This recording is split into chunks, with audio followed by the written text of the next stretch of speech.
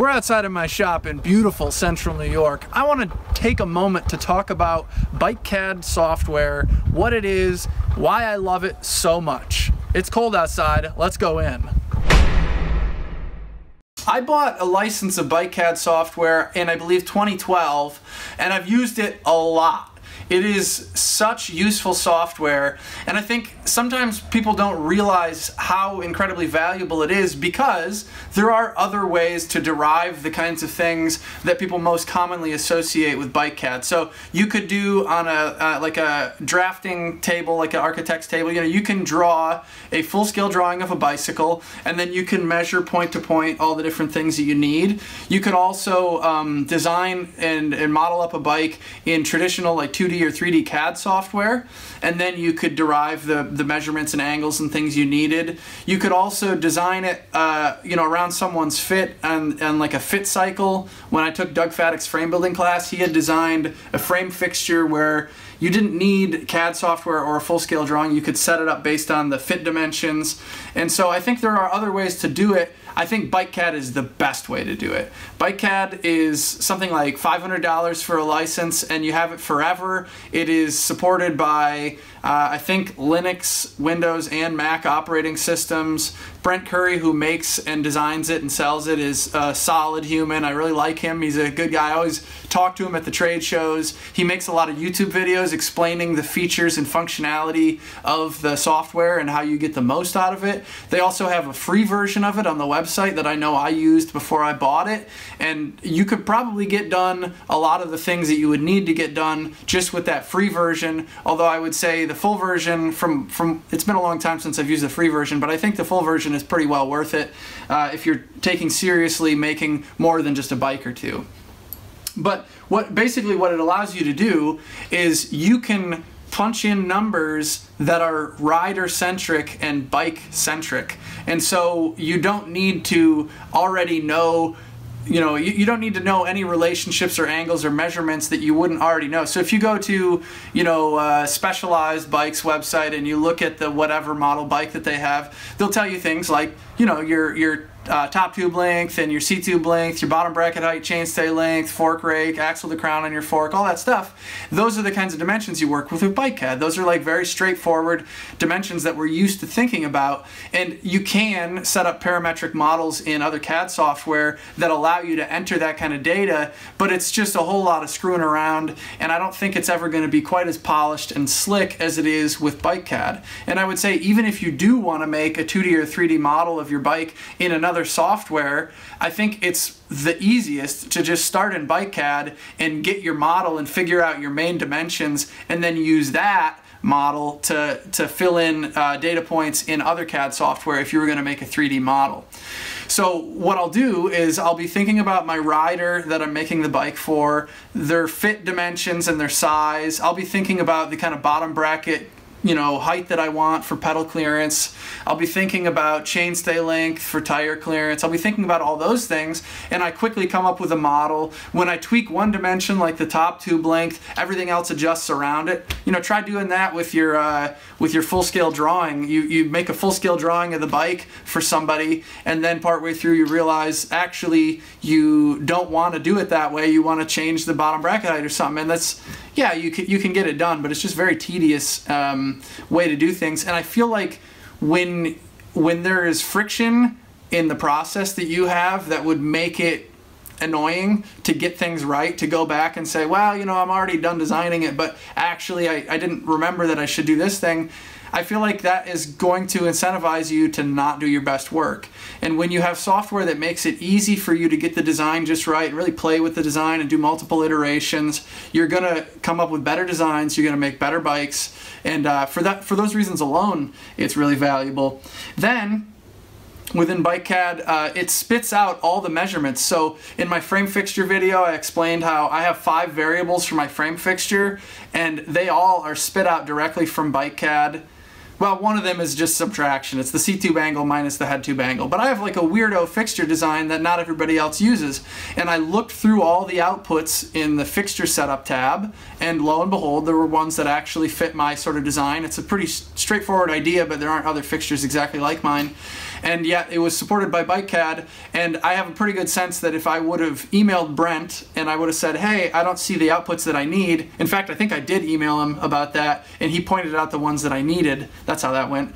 But uh, but Brent would be, I think, uh, for a customer willing to make a simple addition uh, I mean, I don't want to speak for him, but when I've asked him about those sorts of ideas, I had an idea for a tool once and I said I would need custom outputs that are based on simple trigonometry functions. Could you include that in the next version of BikeCAD if I gave you the information for the formulas? And he said, sure. Um, is that kind of person that I'm really happy to do business with, really happy to get the support. Every time I've emailed him, he responds very quickly and he's very happy to help. He points me in the direction of a YouTube video or something. Uh, I think oh, one thing that's cool is in the um, you can do logos and graphics and uh, he makes it really easy to insert your own company's name into the uh, collection of logos on there. And so I've done that and now when I make a bike and I want to you know if I show it to uh, the person I'm making the bike for a customer they can see it says the Cobra on the down tube. Like what a cool touch that uh, you know like it's I just had to email him my, my artwork and then he put it in there. And so um, yeah, just really useful and really good kind of person to do business with. Um, so, so when you go to miter the tubes, you need to know where to drill for water bottle holes. You need to know exactly how long to miter. And there's all sorts of different ways to miter the tubes. So there's center to center measurements. But if you don't have a slick uh, mitering setup that, that lets you uh, slide a carriage to a center to center, you know, spot, then you're going to have to know from actually the insides of the, the miter cuts along the top or the bottom of the tube, you're going to need to know that distance, and BikeCAD gives you those dimensions, and it's just a, you know, it's a checkbox in a dialog box, you just check it and then it shows up on the screen.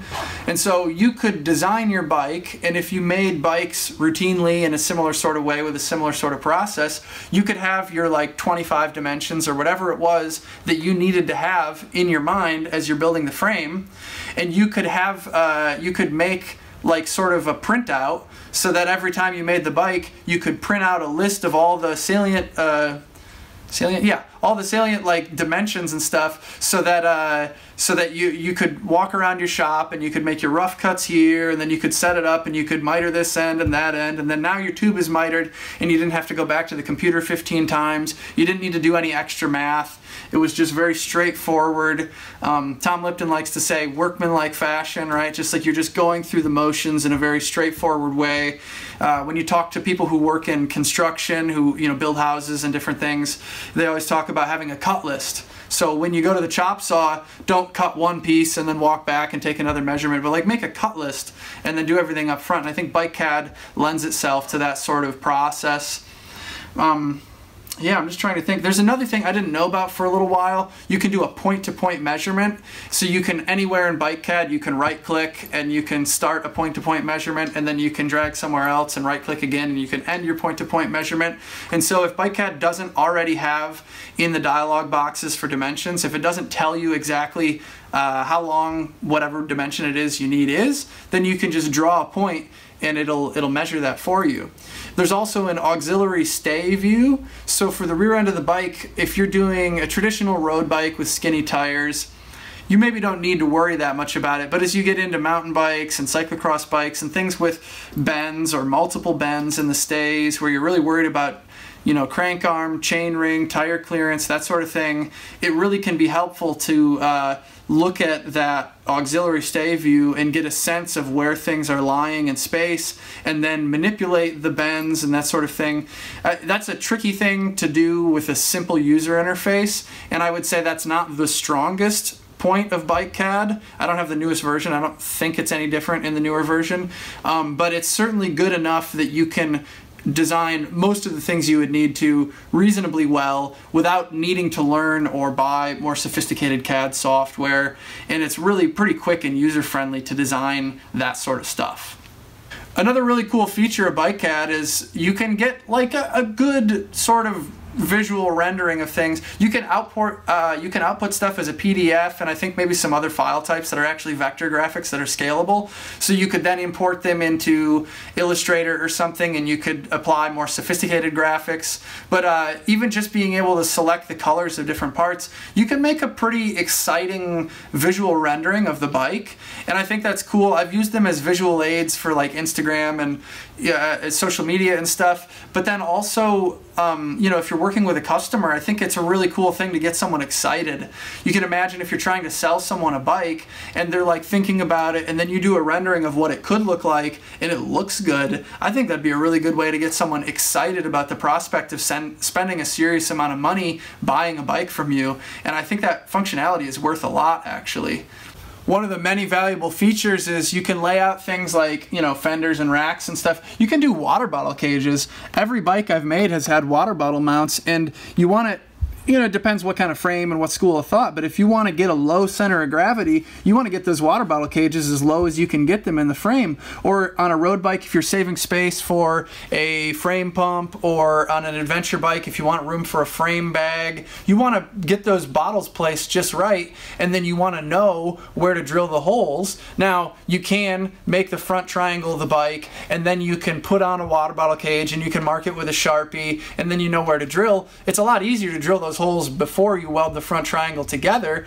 then you don't have to use a right angle head drill to fit into close quarters, and then you don't need to worry about the chips from the drill staying within the frame and rattling for the whole life of the frame. If you drill that before you might before you weld the tubes together, your whole life is easier. And by being able to make a mock-up is really helpful because you know as custom builders, most bikes are one-offs, and so. Um, you know, you want to know exactly the best fit, and you can model that and like so many things right in the software.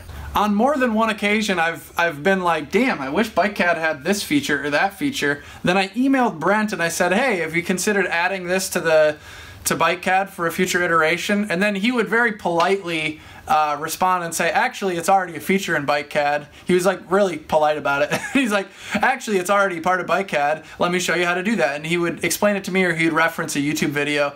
And I found that to be true more than once. And so not only is it more feature rich than I think I realized when I bought it, and then probably a lot of people give it credit for, but also, uh, you know, you have that kind of service and connection to the person who designed it uh, that's really a valuable relationship to have. I want to bring you in one of the things that that Brent released uh, since I bought it uh, is that this here is a Paragon Machine Works sliding dropout.